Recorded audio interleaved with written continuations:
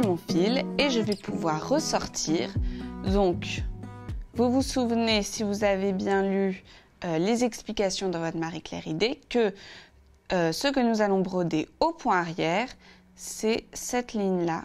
Voilà, cet petit ensemble de festons situés tout autour de la fleur.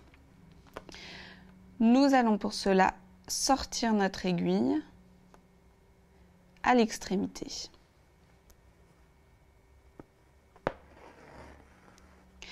Et nous allons faire un simple point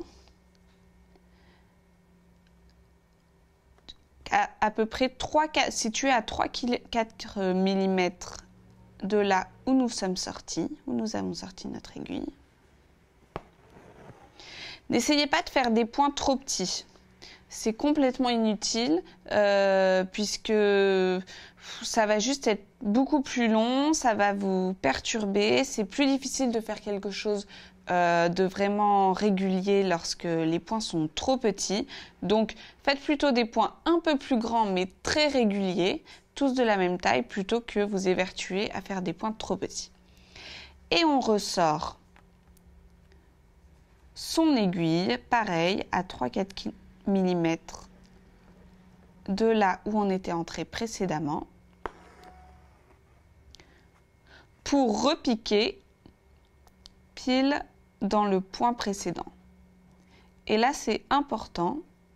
C'est peut-être la seule difficulté du point arrière, c'est de repiquer vraiment au même endroit.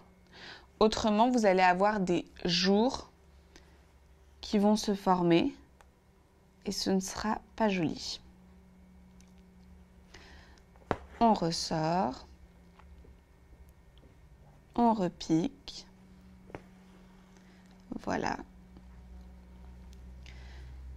Et on fait ça en suivant le trait et en tournant.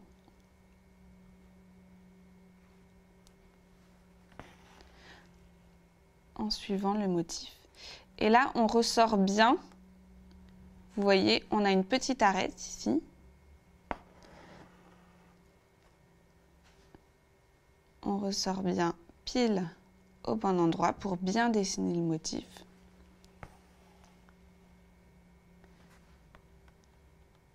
Et on repique dans le point précédent. Donc je fais quelques points encore pour que vous voyez la façon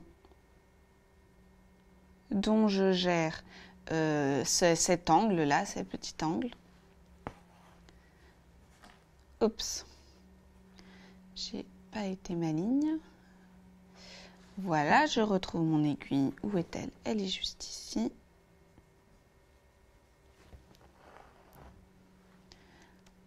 Donc j'avance de quelques points. Mais vous, vous faites ça jusqu'au bout.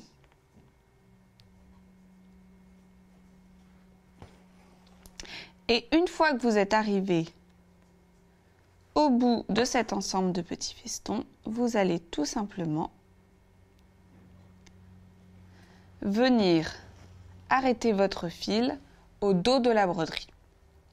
Alors, on fait comme si j'étais arrivée au bout. Je me retrouve donc avec mon fil et mon motif comme ça au dos de ma broderie. Et pour ne pas faire euh, de nœuds disgracieux ou enfin bref, ou je ne sais ce que vous pourriez inventer pour, euh, pour finir cette broderie, on va simplement passer notre aiguille sous quelques points, 3-4 points. Voilà, on vient l'enrouler arrêter notre fil. Et une fois qu'on a fait ça, il n'y a aucun risque, la broderie ne va pas se défaire.